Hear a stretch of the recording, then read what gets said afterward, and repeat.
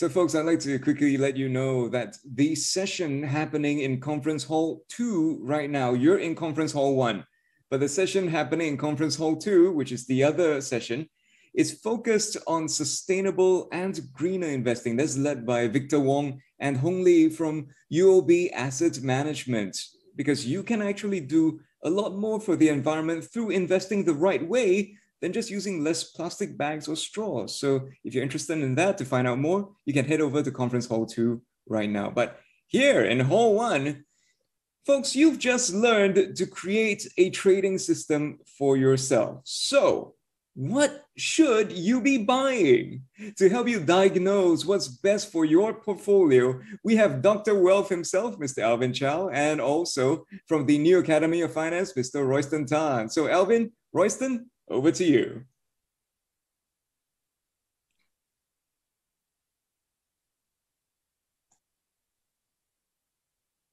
I'll like let Royston start first, then I'll do my part. Royston, please. All right, uh, Royston here, and I hope that everyone can see my screen. This should not be a problem. Am I right? Okay, so then let's get, get started on the topic for today, which is basically how to build your portfolio in 2022. So I'll be actually going through some portfolio generation ideas. And after that, I'll hand it over to Alvin. So before I actually get started, all right, uh, just a very quick introduction of myself. My name is Royston, and I'm actually the founder of New Academy of Finance. And before actually starting off this website, I have actually had more than 10 years of experience in the finance industry, predominantly as both a buy as well as a sell side analyst in the stock market, covering the industrial, the oil and gas market, right? Uh, which is pretty hot in today's context, as well as the industrial sector. So I left the industry probably sometime in uh, 2019 and set up New Academy of Finance with the goal of actually bringing personal finance and investing knowledge to the masses. So for those who have yet to actually check out the website, do actually drop over to New Academy of Finance. All right. So without further ado, let's get started on today's agenda. I'll be covering two areas, which is basically addressing the uncertainties that we have that we are seeing right now. Well, there's a lot of uncertainties that we are seeing in today's context. That's going to be the first part of the session. And for the second part, we'll be highlighting, or I'll be highlighting a couple of uh, stocks for considerations for you guys as well. All right. But do note that all this are basically uh, for educational purposes and not really a recommendation for you guys to be buying and selling the stocks mentioned in this uh, current presentation. So please do your own due diligence work. Okay, so before I actually get started on the content proper, just a quick quote from Mr. Warren Buffett himself. And he has actually mentioned that the future is never clear. You pay a very high price in the stock market for a cheery consensus uncertainty actually is the friend of the buyer of long-term value. So today, if you actually do have a long-term horizon, you will actually would want or welcome uncertainty, okay? Because that actually allows you the opportunity to be buying stocks as well as assets on the cheap. So with that being said, I would say that 2020 is definitely a year all right, uh, that is filled with uncertainty. So you have started off on a pretty volatile footing, and I would expect that the rest of the year to be equally eventful. And most of you would probably already know by now, you know, whatever that's happening with regards to the Russia and Ukraine war. Without getting into the political front, just in terms of the impact that it have on us, you know, in terms of you know pump prices, I guess that you know that's hitting the headlines almost every day. So you guys, you know, especially for drivers, you already have felt that impact. But at the same point of time, other commodities such as you know the soft commodities, rice, grains, and whatnot is also creeping up. And I, I would say that at due time, you'll probably also feel that impact you know uh, when you realize that you know when you go to the uh, shopping uh, the, the, supermarket and realize that you know all the products that you're looking to buy your daily products daily necessities are, got, are, more, are getting increasingly expensive. So that's going to be something i would expect to happen if not already happen uh, at this current juncture so inflation has been the buzzword, and that buzzword has, you know, slowly moved from the theme of being transitory towards now that it's a little bit more sustained. And um, there's potential that inflation could actually trend higher versus expectations. And the Fed has also come out to say that, hey, you know what?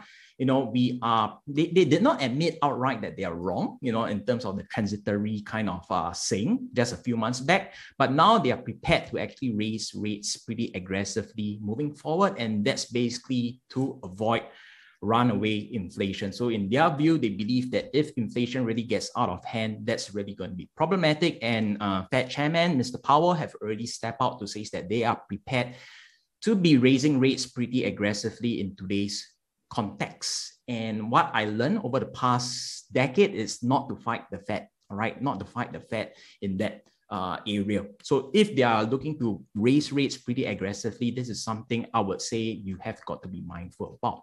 And last but not least, of course, there's going to be the chatters of dreaded stagflation. So stagflation is basically a scenario not seen over the past five decades.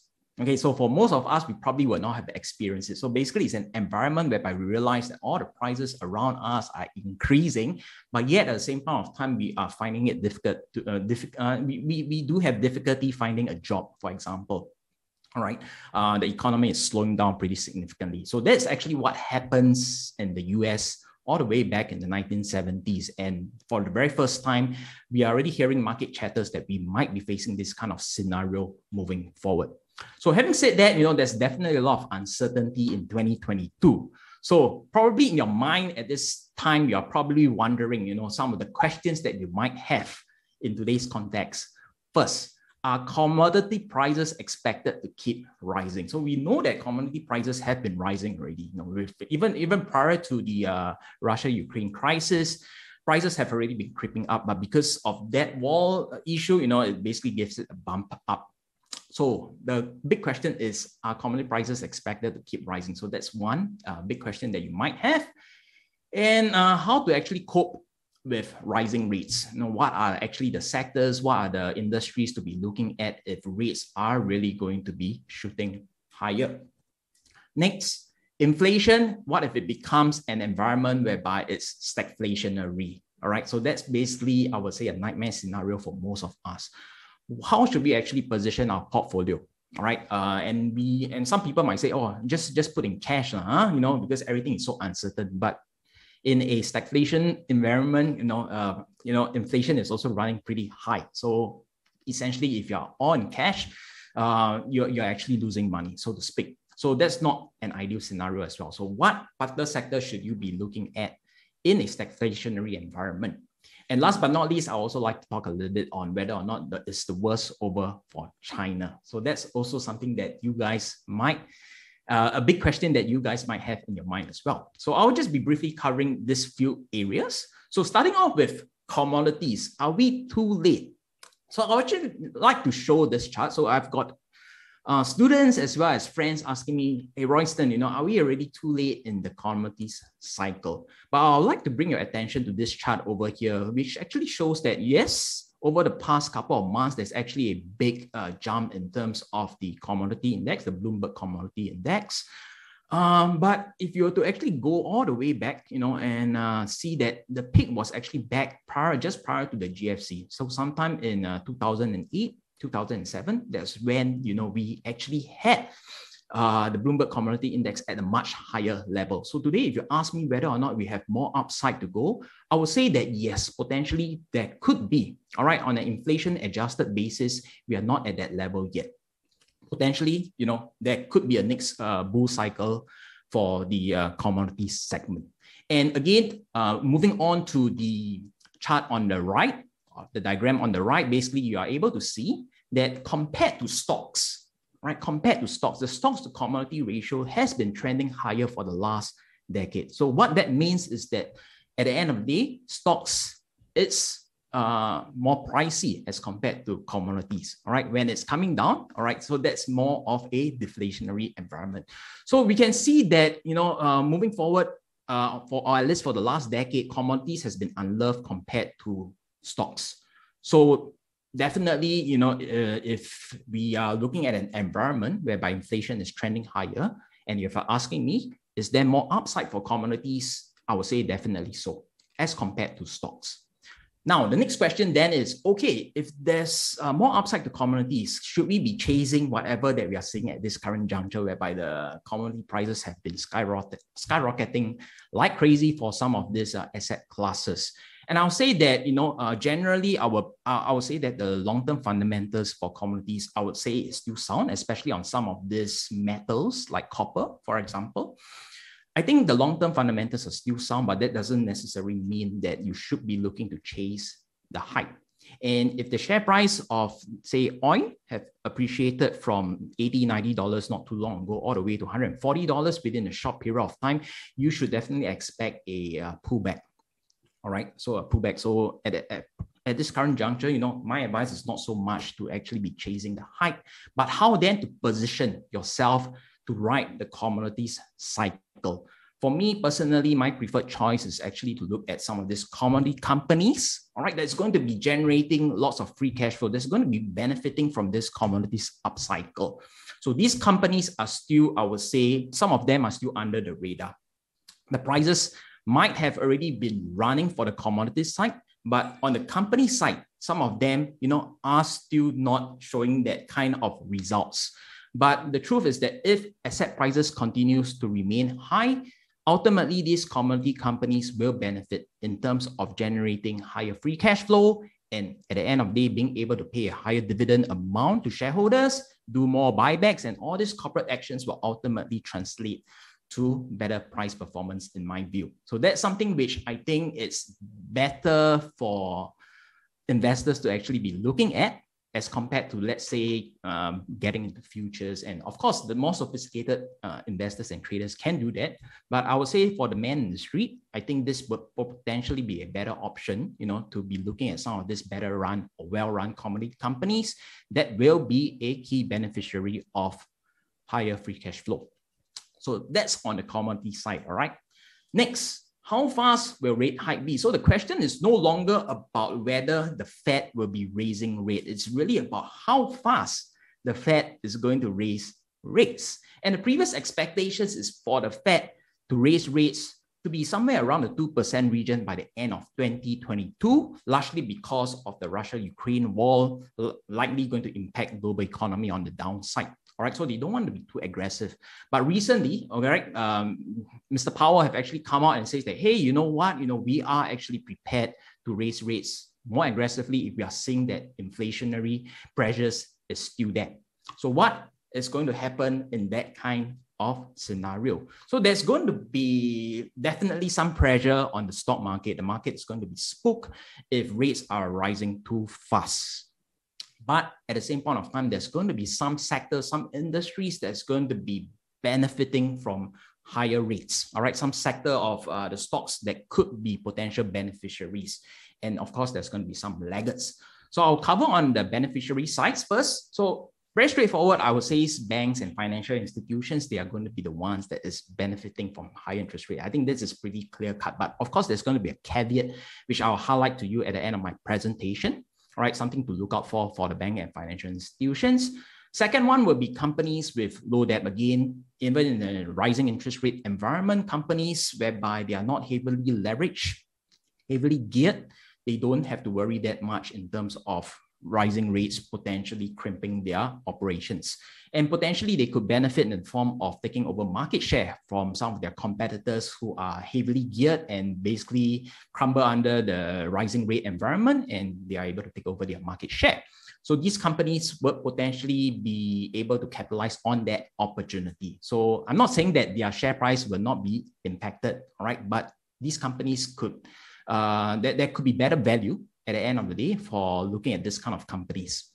And the third category will be value stocks. And this is already happening. Value for, for the longest of the last decade, value stocks have been shunned. You know, their, their growth counterparts has been the one that is shining all the time.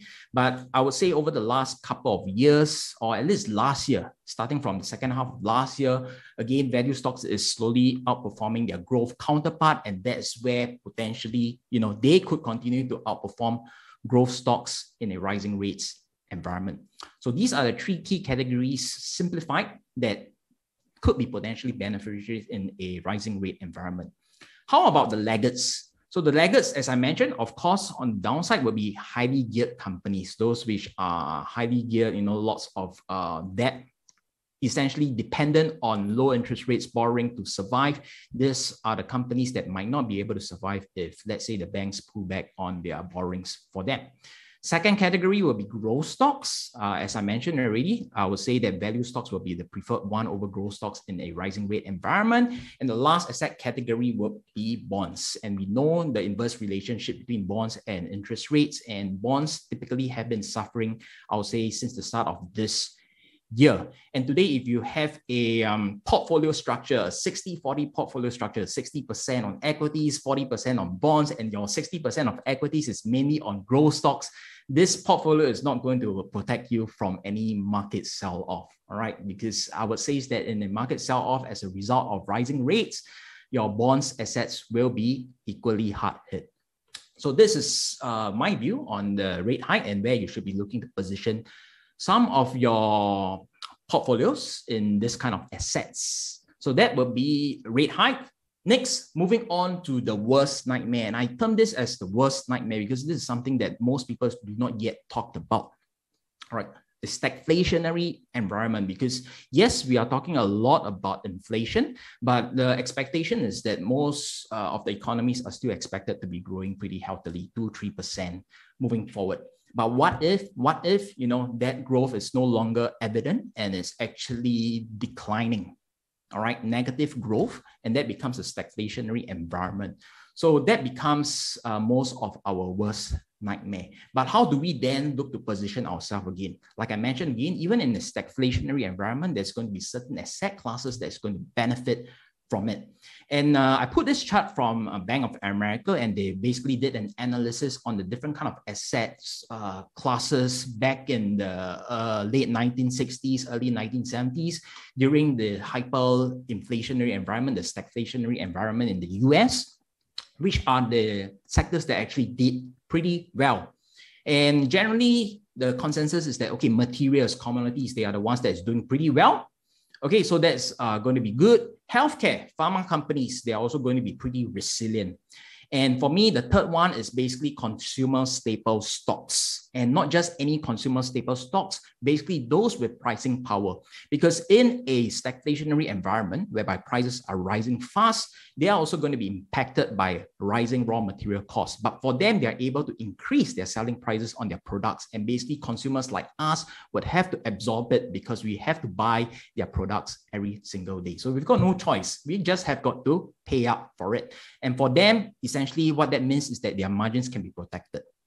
And to them, a lot of uh, this kind of companies will do pretty well, even in a stagflationary environment. So today, if let's say we we, we, we do experience this nightmare scenario, I would say you have got to be prepared uh, to and position your portfolio better in this kind of asset classes. So that's for stagflation. And last but not least, I would like to actually highlight on China, which is also a topic that is being talked about a lot lately. So I'm not sure if you guys are actually aware that the golden dragons, which is basically the large cap, the blue chip China tech stocks, have actually witnessed a 75% drawdown from the start of 2021, Q1 of 2021, all the way to recent uh, recent weeks. That drawdown magnitude has been 75% and it rivals that of the tech bubble in 2000. All right, so we have talked about how bad the tech bubble was for a lot of this kind of tech companies, but we don't really hear a lot about, you know, how bad some of these uh, China stocks or how cheap they have become. We probably know, all right, we probably know, but definitely there's still going to be a lot of uncertainty. And I mentioned already, uncertainty is basically uh, something good for a long-term investor because that is where you are able to be buying assets on the chip. So if you have bought into all this big cap uh, China tech stocks at a peak back in quarter one 2021, I can definitely feel your pain, all right? Because I also do have some positions in them. And a drawdown of 75% is something probably we would not have thought about being realistic for a company, blue chip company like Alibaba and, and Tencent. But I mean, it did in fact happen. So for those who are vested at the top, definitely you're feeling, uh, if you're not already out, you know, definitely you, you the, the feeling is not good. But for those who are looking to get into or finding opportunities in the market, my question to you is what are you waiting for at this current juncture? All right, what are you waiting for at this current juncture? As I mentioned already, yes, definitely there's still a lot of uncertainties out there with regards to uh, China's regulation, you know, whether or not a lot of these China companies listed on the US will get delisted, etc., their involvement in, in Russia and whatnot. Yes, there's always going to be uncertainty, but definitely at this current juncture, if you're getting it at the current juncture, the risk reward is definitely much better skewed to your favor. And if you have got a long-term horizon, I would say is that you will probably do pretty well, especially if you look at valuation from the valuation standpoint. All right, we are not buying into these companies. Yes, they've fallen a lot, but we are not buying them when they're still expensive. Right, we are buying them at, at a negative standard, uh, negative uh, one standard deviation all right, compared to the uh, forward PE relative to the world stock market. So it's definitely cheap on this current context. So just food for thought on whether or not you should be looking. For me personally, I think that this is an opportunity uh, because the risk reward actually is looking pretty good. So with that, i am done with my first portion. I will now move on to the second portion, which is basically to highlight a few of these uh, Singapore stocks for every occasions uh, as you know, uh, just just basically for ideas generation. Okay, so like I mentioned, this is basically for educational purposes and not a recommendation to be buying or selling this stock. So please do your own due diligence. So I'll be highlighting three stocks. One on the value side, which is generally more long-term basis, dividend side, again, more long-term basis. And the third one will be a momentum play, which is more short-term in nature. So capitalize on the trending momentum of this particular counter. So for our value stock, uh, the one that I have in mind it's actually Sembcorp Industry. So for those, um, most of you probably not aware, and I just now highlighted that I was an analyst previously, an oil and gas analyst previously, and basically Sembcorp Industries is a company that I've been covering for many years. And the, the, the, the issue with Sembcorp Industries for the longest of time when I tried to market it, right, when I tried to market it to funds to buy into them, is basically, you know, the, the, the fact that they still have the marine arm they still have the marine arm, which is basically dragging down their profitability. And of course, it's not being seen as, as green energy to a lot of uh, ESG funds. So with the divestment of Sembcorp Marine now, you know, as a standalone entity, uh, utility company, they definitely appeal a lot more to uh, more funds, especially to ESG funds. So that's uh, key point number one. Key point number two, I would say is that most of the kitchen sinking is done. What do I mean by that? If you are somebody who actually follows Sembcorp Industries, you'll realize that every single quarter they would have impairments done on their assets. Right? Basically, the assets are not performing up to standards. They basically have to write down the value in their balance sheet. So every quarter, without doubt, there's going to be impairments. But with the new uh, management actually coming in uh, late last year, so his job is basically to kitchen sink everything so they can get to start afresh in 2022 without having to deal with all these uh, lower quality assets moving forward. So I would say is that moving forward, I do expect the impairments uh, for Sembcorp Industries to be a bit, a, a, a, lot lesser. So in terms of reported earnings, it's definitely going to be much stronger. So that's something to look out for as well. Key point number three, potential monetization from the sale of their India's conventional assets. So they have been looking to go green, from brown to green. And one of the key area that they have been looking to is basically to dispose of their India's um, power plant assets for the longest of time. So this increasingly likely that they are look they, they potentially can actually uh, dispose of their assets moving forward. And if they uh, manage to do so at a good price, that could also be a key catalyst for this particular company in 2022. So those are the three key points generally, you know, in a nutshell of why I think that this is a potential value play. All right, it's, is not really expensive. I'm not looking at the, the various price earnings ratio and stuff like that. But in my mind, I think that this company is cheap enough based on these three key points. Of course, there's going to be some short-term risk, which is the impact of rising raw material costs, such as coal, but a lot of them, you know, have uh, contracts which is passed through, meaning that even if coal prices are rising, they are able to, to actually pass through the higher coal prices to, at the end of the day, to their consumers. All right, so that's uh, company number one, Sembcorp Industries on the value side. On the dividend side, I'm looking at REITs and specifically Ascendas REITs. So I'm not sure. I, I believe that a lot of you guys are probably um, lovers of uh, REITs or basically have some form of investment in REITs. And, but they have been a asset class that's unloved for quite a while, for the last two years. They have been underperforming for the last two years. In the past, blue chip REITs used to be trading at a yield of 2 3%, right? Uh, that's pretty low. But now a lot of these blue chip REITs are actually yielding in excess of 5%. And I think that that's something pretty attractive as well. So Ascendas REITs, for example, have a dividend yield of uh, analyzed dividend yield of more than 5%. So that's definitely an interesting component on the yield segment. Um, but beyond that, in terms of its asset quality, asset class, also I think that it actually does hold a resilient portfolio of new economy assets, which includes business space, logistic data centers, assets which come high or dry, will probably need it in the coming decade or so. Key point number three, well-managed debt profile with 80% fixed debt. So even if, if interest rates were to rise, for the short term at least, they are able to manage their their interest rates pretty well because most of their debt are already fixed. So they won't get impacted that badly. But of course, on the longer term basis, that's where the, the, the, risk comes in. If you're not able to actually raise their rental faster than that of uh, the rising debt cost, that's where it's going to eat into their margins. So that's again is something to be uh, mindful about. So my preferred play for, for, for dividend, a dividend counter, it's Ascendas REITs. Next, moving on to momentum. Momentum, uh, I'm looking at SATS Limited. All right, SATS Limited. And one, this is basically a stock for the reopening. So Singapore reopening up its economy to tourists, and this is basically one particular counter that's exposed to the travel sector. And for me, I think this is also quite important. Point number two, a lot of um, these airlines that we are looking at or uh, reopening place like ComfortDelGro, for example, all right, um, on the on the transport sides, they could be actually impacted by rising fuel costs, which is what is happening at this current juncture. But for SATS, the impact of rising fuel costs is not as significant as all these other companies or all these transport companies. So they could be a better, uh, better, better player to ride that upside.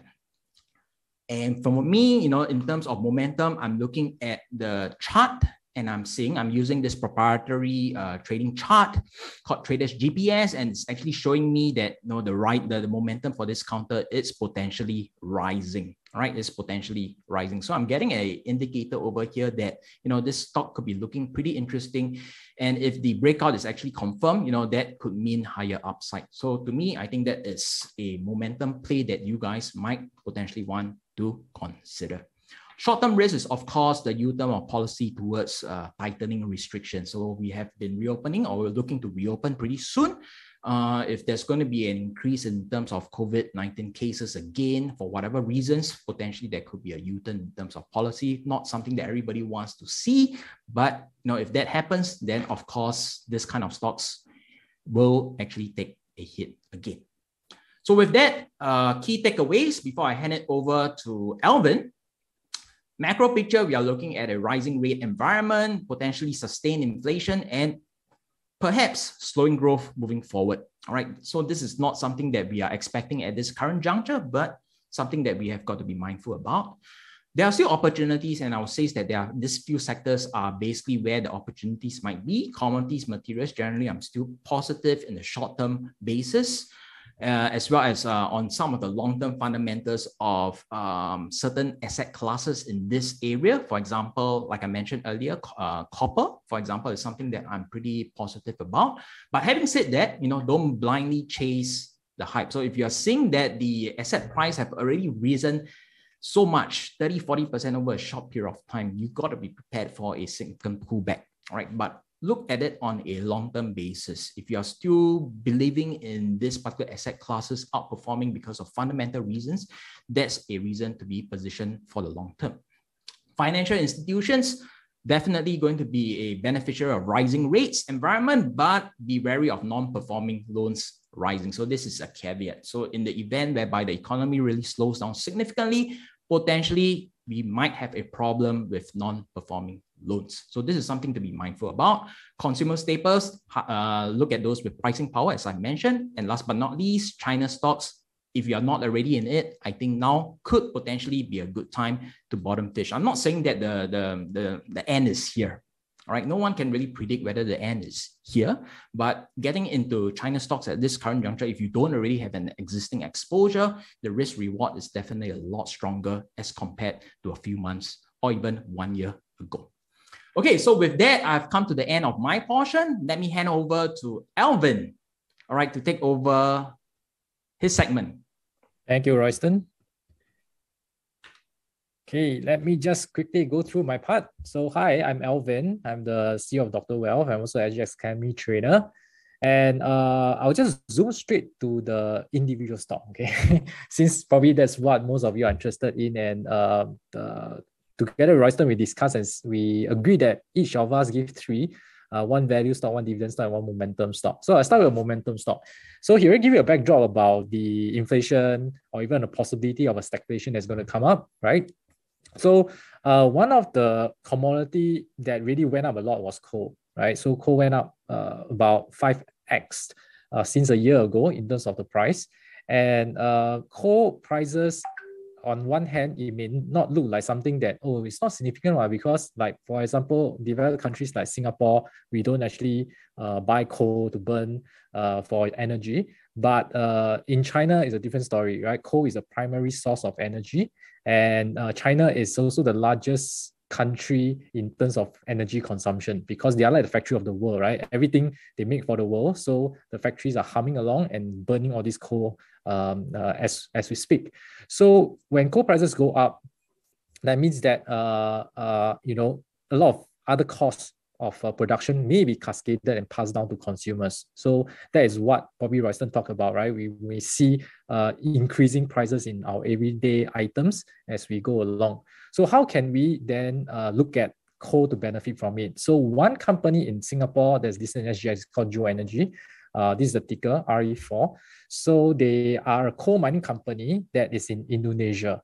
And uh, there used to be a time where Australia has been exporting coal to China, but due to some geopolitical issues, uh, Australia stopped exporting and Indonesia became a major exporter of coal. And that's why this Geo Energy became a very big beneficiary of that. And you can see that their, their uh, average, average price and their sales volume has been going up. Okay. And this is, a, this is the average selling price, huh? right? It has been going up, going up, going up right? Because of the commodity bull run as well. So it has been happening since like uh, 3Q 2020. That's quite a way back then. And we're talking about 5x from a year ago uh, in terms of coal prices. So it is good from there because the cost of digging up the coal is the same. But now they get to sell a lot more because the market price have went up. And that contribute to a lot of the profits that they are seeing right now. And uh, revenue has jumped 159% from a year ago. Okay, and their net profits have also uh, almost doubled right? And uh, their free cash flow also started to be very, very uh, uh, positive, I would say, right? Compared to the, the capex, the amount of free cash flow they generated is like more than 50, no, 60 times. Okay, they are the capex, uh, the capex that they spend on. So um, they are in a very good position because of all these commodity run. And of course, the share price have gone up a lot. All right. Uh, and some of you might be thinking, oh, so high already. Why would you still want to like talk about this stock? Okay, so uh, it depends on your strategy, right? Like the previous session, they were talking about uh, trend following, momentum kind of strategy. So this fits into that momentum profile, right? So if you are someone who is a momentum trader, uh, you you are sure that the trend is still pretty much intact for this kind of company. And if some more the future quarters of Geo Energy results are going to be even better than currently, it will give some support to this momentum to go on further, right? So of course we don't know when the trend will collapse, but um, uh, you know the trend followers always believe that the trend is your friend, and you stay with the trend until the trend ends, right? Of course you must know uh, when do you sell and that is uh, one important part if you want to do this uh, uh, trend following kind of uh, uh, strategy, right? So if that's so, then some of these mining companies in Singapore may look interesting. Geo Energy is one. Uh, there's a couple of others like Fortress Minerals, all this, right? So I do think that uh, that's one area you can zoom in if you want to um, uh, trade the inflation theme. Then the dividend stock I choose will be Sheng right? As uh, Royston has said, consumer staples are the ones that will be very resilient through different economic cycle, whether is it boom, bust, or what. People goes to the supermarket to buy your daily necessity. Right? It's not like it's a recession, you stop buying toilet paper or you stop buying uh, vegetables to eat, right? So it is very unlikely. Maybe you curtail on some of the more expensive item, but you still need to buy something, right? Your supplies from uh, the supermarket. And Sheng Siong is the third largest supermarket in Singapore, behind NTUC, FairPrice, and Dairy Farm. Dairy Farm runs your cold storage as well as your giant, right? Um, uh, so this is one of a more resilient play, I would say. And the good thing is that relative to Dairy Farm, Dairy Farm is also listed in SGX.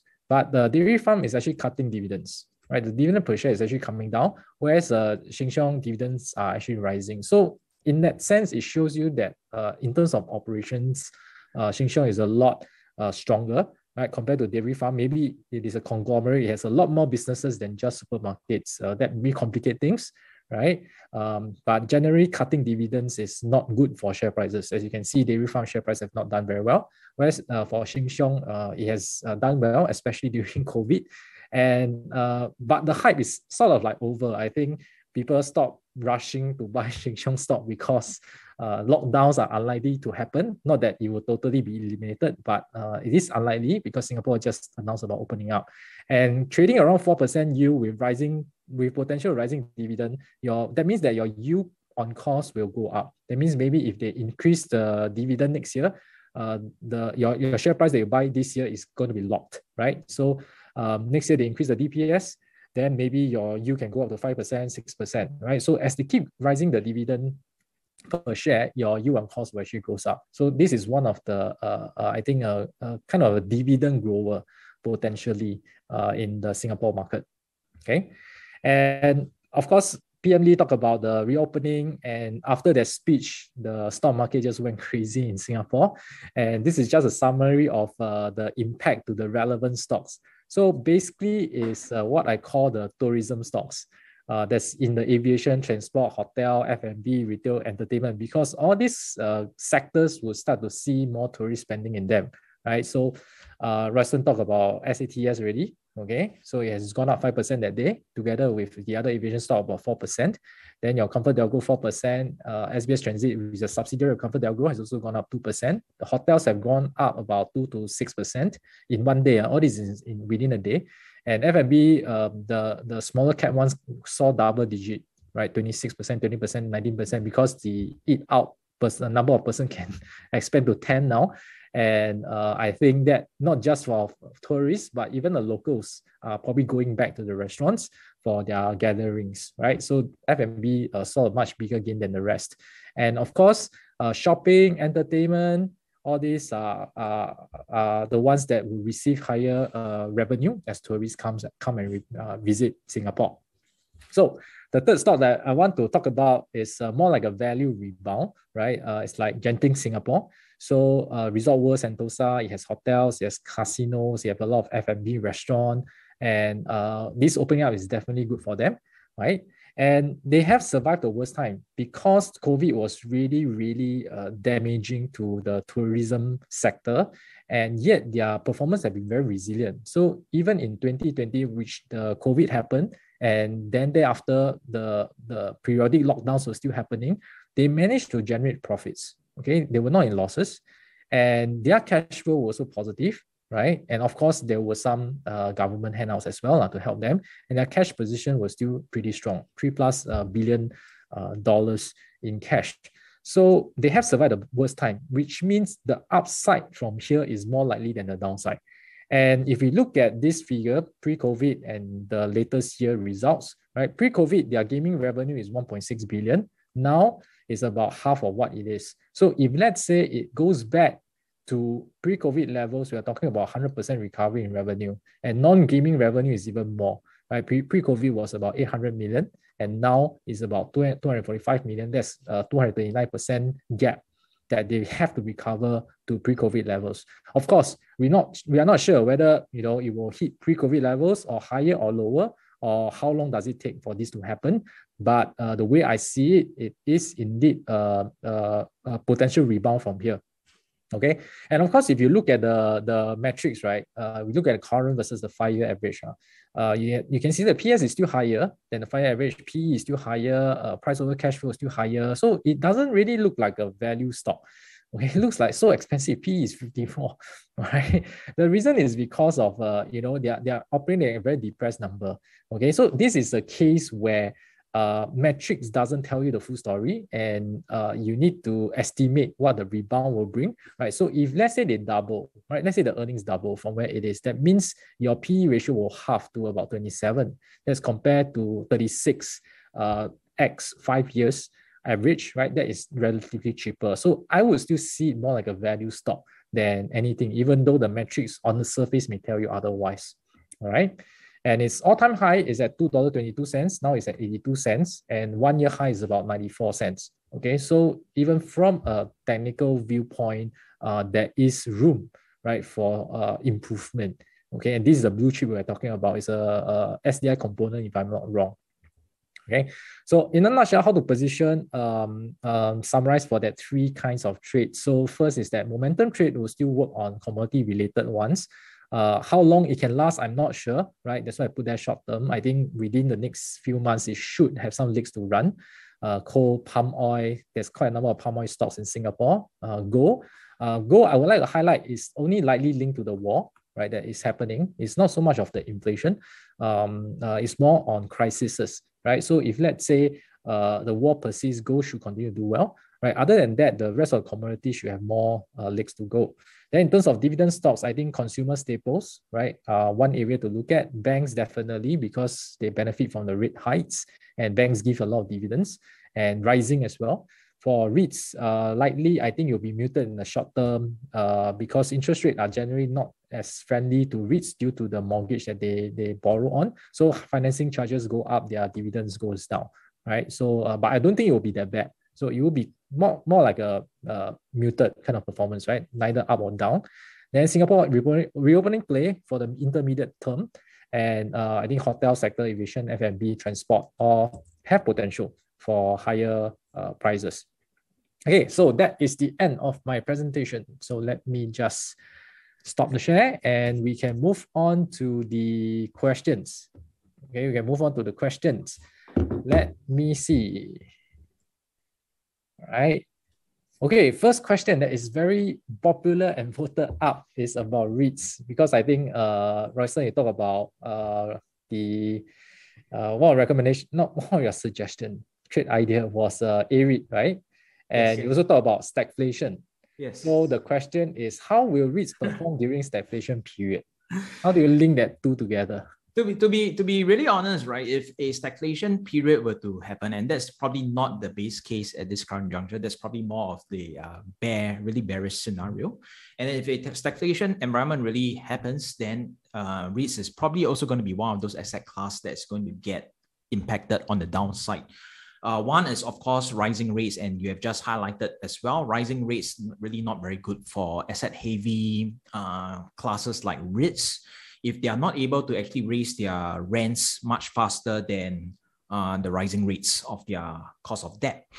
And in a stagflationary environment, that's where whereby the economy is slowing down pretty significantly. So you don't expect to be able to actually be able to uh, garner higher rental. So definitely, I would think that in that kind of environment, REITs will also potentially suffer, so to speak. Huh? But uh, we are probably not looking at that scenario. Just need to be prepared but probably not looking at that scenario at that current juncture. If stagflation really were to rear its ugly head, then I would say uh, REITs could potentially be one of those that will be impacted as well. Hmm. I remember I saw your slide just now. There was a uh, you compare the different asset classes during the stagnation period in the 60s, 70s. Yep. And I saw, I remember I saw REITs was negative returns. yep. so, yep. Yeah, so if that happens, I think because you get hit by both sides, right? On one is uh, uh, uh, financing charges, and the other hand is that your rental is coming down because people are not renting, tenants occupancy is low, right? Yeah. So it's like a double whammy uh, for for correct, correct, correct. So yeah, so that's definitely something to be mindful about. Uh, not our base case scenario as yet, but uh, for those who are heavy in REITs, this is something to be to be careful about as well. Yeah, even to the individual, it sucks, right? Because people are losing job and prices of food and go, everything is going up. Yes, yes, yes. And that's something that we have not actually experienced, or most of us, I would say, have not experienced it before. So, because the last time it happened in the US, that was 50 years ago. So, a lot of us probably would not be close to actually experiencing that. But potentially, if prices were to be going up at like a 10% rate every year, you know, that's definitely a, a nightmare scenario. Lah, huh? Yeah.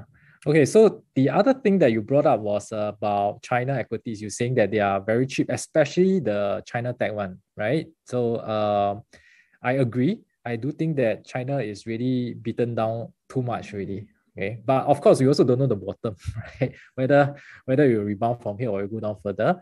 Uh, but we we do agree that it is cheap enough to worth a look at, right? And uh, there's a question related to this. So uh, E is asking, is Lion OCBC Securities Hang Seng Tech Index ETF a good start for exposure to China tech stocks? What do you think? I think it's okay. It's one of those stocks that's listed in SGX. Uh, if I'm correct, am I right, uh? Yes, yes, yes, yes. It is, it so is. I think it's pretty easy to actually use that to uh, get started. And they basically compose of some of the largest blue chip tech companies in uh, Hong Kong as well as in China. So I guess that you know if they have already been bitten down quite a bit, I think now might be a time to potentially dip your toes in it slowly. I'm not saying all in at one shot, but you know that's that's definitely something interesting and easy for Singaporean investors to actually get started on. Yeah, I, I, I think it is a relevant index because Hang Seng Tech Index has also been beaten down quite a fair bit because Mm, of the the exposure. Related. And yeah, I, I remember the names are definitely your Alibaba, your Tencent, uh, Xiaomi, right? Some of these uh, very familiar names. And if you are not very clear about uh, all these Chinese company or you're not sure, not familiar with them, definitely buying an ETF uh, would give you the exposure without the need for you to do the anal- analysis on individual stocks. So yeah, I agree that it is probably one of the good way to start to get exposure to China tech stock if you haven't already. Yeah. Okay. Um, let's see what other question. There is a third question. What sector on SGX benefit from commodity rates, food and energy shortages? Ah, okay. So I, I think we kind of like cover it already, right? Um, um, uh, maybe you know for Royston side, what do you what do you think that the to, the answer to this question? What sector on SGX benefit from commodities, rates, food, and energy shortages? I don't think there's any particular sector that really benefits, or one particular sector uh, that really benefits from whatever that's happening right now in the market, lah, which is basically rising rates. Uh, rising rates, basically, we'll be looking at, of course, the banks. That's basically a beneficiary. But if you're talking about uh, commodity prices rising, then of course, you know, those companies which are exposed to those kind of commodities uh, will be beneficiary of, of it. So just I, I would say that um, one, one thing I like to highlight, and this is a conversation that I had with Alvin just now as well, that in our Singapore context, there's not really a lot of um, basically big companies, or I would say big energy companies, so to speak, not like the likes of your Exxon and whatnot. And whatever that's happening right now, pretty interesting, is that oil prices are rising quite fast. And historically, most of the time in this kind of environment, the blue chip companies, the blue chip oil and gas companies will be the first one that's jumping in and basically ramping up production. But in today's context, they are actually avoiding. All right, they have actually kept uh, their promise of not going aggressive in terms of capex. They have kept their promise in terms of not going into, not going back into oil and gas, uh, focusing on ESG. And even in today's rising price, it actually benefits a lot of all this kind of uh, small caps, smaller to mid caps energy companies who are now no longer seeing that competition from the big boys. So that's something that is pretty interesting. All right, uh, just to share with you guys as well, that a lot of all this kind of uh, smaller cap companies, like what Alvin have also shared, Geo Energy perhaps, um, they are not seeing a lot of competition from the bigger boys because those players are now avoiding this sector and preferring to stick to the greener energy path, even though the commodity prices actually does make sense for more production to be made. So we could be in an environment whereby if these big boys are not coming in, then these smaller players will be one that's reaping the benefits of it. But that also means that supply is not going to be coming on stream that quickly, and the whole deficit scenario could potentially be lasting longer than expectation. Hmm. And uh, I saw an interesting question about uh, from JJ about oil and gas. Uh, he or she said that the oil and gas prices are reaching new highs, but movement on oil and gas shares doesn't seem to move in tandem. How do we time the entry and exit for oil and gas shares?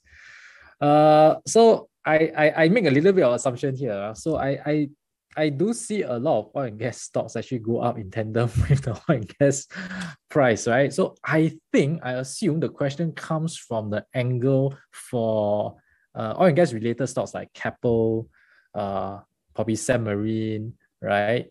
Uh, where the prices haven't really kept pace with the oil and gas price. Okay, so uh, maybe I can answer this first, then then uh, Royston yeah, can sure. add in bit. So my, my view is probably because um, Keppel is not 100% oil and gas play, right? It has property, it has real estate, you have a lot of other things, a conglomerate rather than just a pure uh, exploration kind of company. Yes, they do uh, oil rigs, all these kind of things. Um, uh, but even that, they are trying to sell it to Sembmarine. Right? And then on the other hand, Sembmarine, yes, it has more exposure to uh, uh, the oil and gas sector uh, uh, uh, in that aspect, right? But it's again, is not they are not really the one that's selling the oil. You see, so they're just selling their equipment to the oil companies. So if if if the oil prices go up, they don't immediately reap it. So I think from the angle, the correlation with oil prices is not as strong as other energy companies that really are the one digging out the oil and sell them in the market. So those are the clear beneficiary. And I think that in Singapore, um, there isn't one company that is uh, exactly involved in that. That's my view. Royston, what do you have to say? I think you are exactly right. Uh, if you are talking about one company that might have some exposure to the upstream side, upstream side meaning those that's really digging oil and selling oil, so really beneficiary of high oil prices. I would say that the only one that I know of is potentially Rex. All right, that's one of the ah, smaller yeah, cap yeah, yeah, yeah. Rex International, right? They, put, they, they, they previously were just providing their solutions, right, their instruments, and then now they become a upstream player as well, so to speak.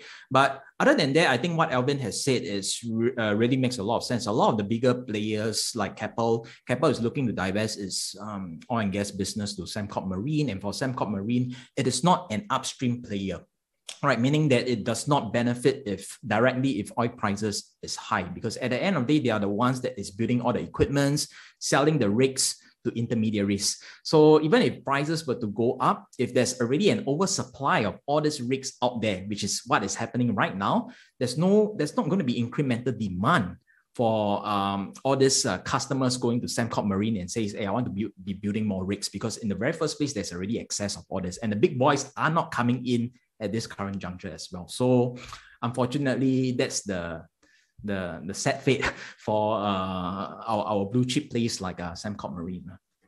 It will take a while for them to restructure and, and get the new yes, yes. Uh, direction right, right? Correct.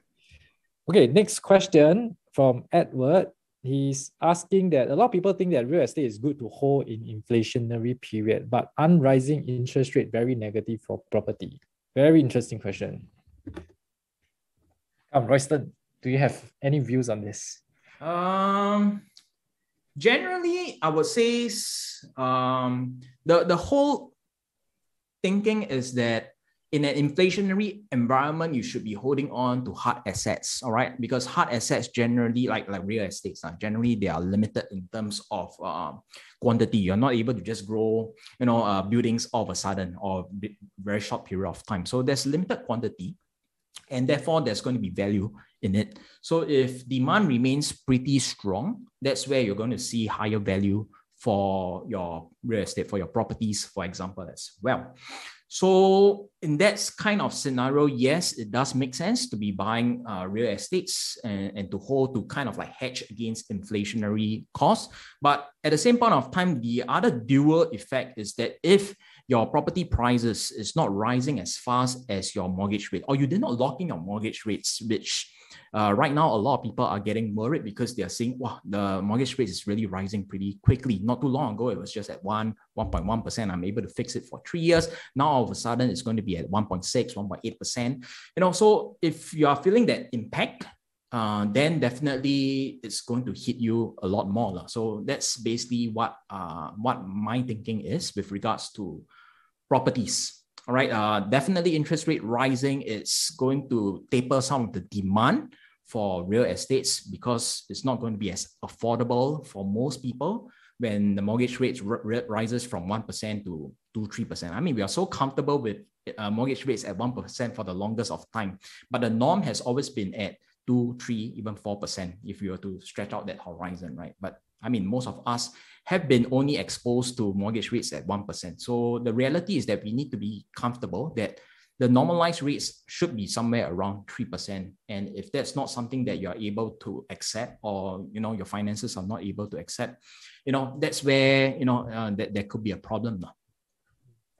So my, my view is about this. Uh, it sounds contradictory, right? Real estate should go up in value during inflationary period because it's a hard asset, and at the same time, uh, interest rate going up would cause financing charges to be much higher, mortgage loan to be much higher, and deter demand.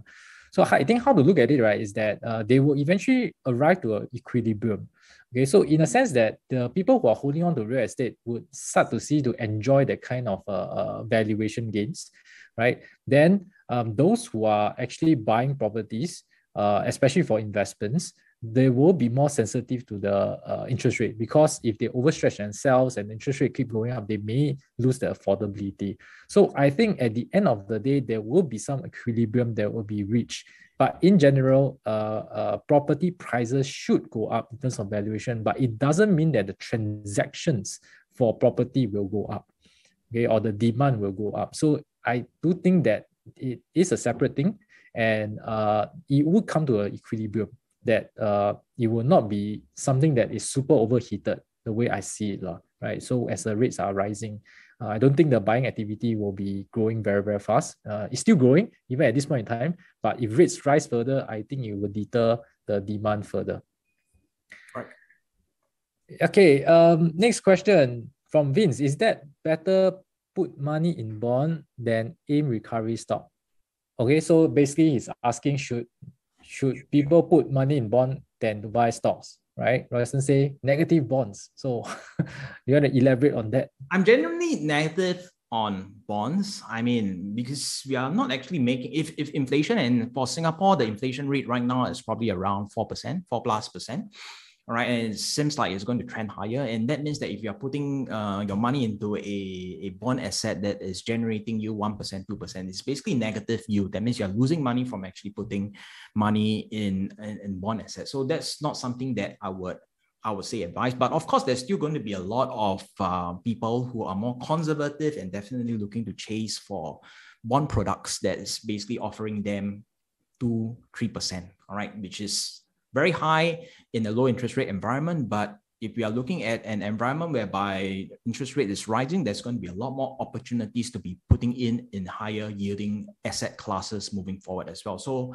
to me, I still don't think you know bonds is a uh, safe asset class also to i mean it's safe generally in that sense you probably will not lose your capital if you are putting in into government-backed bonds etc but uh, in terms of the yield the real yield that you're getting is actually negative, so to speak. So you're actually losing some of our money. It's just like putting money into the bank uh, as well. Huh? So, so that's something which uh, I'm mindful about. So I'm not sure about what your thoughts are, Alvin. Yeah. So, so what Royston is saying that if let's say the, the inflation rate is three percent, it rises to three percent, and the bond is paying two percent, you're actually losing one percent, right? So it's actually negative for you. Uh, my view is that uh, I think some people come in the point of view that it's more about capital preservation than to uh, make a higher return on, on the capital itself lah, during this uncertain time. So I do understand that some people maybe they're more risk averse and they are considering bonds. So if that's the case, I do think that uh, from a capital preservation perspective, uh, getting to short-term bonds makes more sense, right? They are less sensitive to interest rate rises. Um, uh, at least you know you are able to uh, switch out and uh, you know even SSB, Singapore Savings Bond, all this uh, uh, they are not they are they are not uh, how to say uh, uh, your your cap your your par value doesn't go down right as the interest rate go up so that could also be one of the considerations that you can have lah. so i do think that there are safe options if you are coming from a capital preservation perspective but i agree with royston that um, it's very likely that your bond price that you buy is going to fall if interest rate goes up but if you hold until maturity you get a capital projection but his point is that during this whole period you might be experiencing uh, lower purchasing power because of uh, negative rates. Uh. Okay, so that's uh, probably the last question. I think our times is about going to go up. I think the last question is the most relevant for this. From Lee, to both speaker, what is the one element that you think is the most important to have in a portfolio for this year? Wow. Why not you start first? I start first. Okay, I, I think just to put things in context, lah, right? So it depends on what your portfolio already have. Okay, if if let's say you are already very heavy commodities, then I say, wow, the most important thing to have is commodity, and because of the the the rising inflation and things like that, and then to you it's not relevant because you're already exposed to it. So I would say that it really depends on uh, what you lack at this point in time because I believe in more uh, diversification than less lah. Um, because there are different sectors that's always in play in a different uh, economic environment. So now there are a few sectors that I think people should look at, right? Uh, commodities, finance, consumer staples, uh, probably some recovery plays in those uh, uh hospitality sector. So I do think that these are all valid plays um, um, it depends on what you already have and what you not have. Yeah, so that's my answer. Royston, to you. For me, it's just uh, simple. To me, if you ask me just one particular sector that I like, and I think that there's going to be good potential, whether or not we are looking at an environment which is potentially bearish or one which you know is a recovery play, I would still think that commodities is one area. But like what Alvin said today, if you're already heavily exposed to that sector, then of course you shouldn't be adding more to your uh, portfolio size. But if you are looking to put in one particular sector which you think is going to be resilient moving forward, then definitely uh, some, some form of commodities is going to be really useful in helping you to hedge against the different scenarios that we have highlighted today. Hey man, I think our time's up and yep. let's hand it over to Edward. Yes, thank you, Edward. Thank you very much, Alvin and Royston. Wow, that was really very comprehensive and very educational as well. I think they managed to cover really a very wide, very broad swath of topics. So thank you again to the two of them.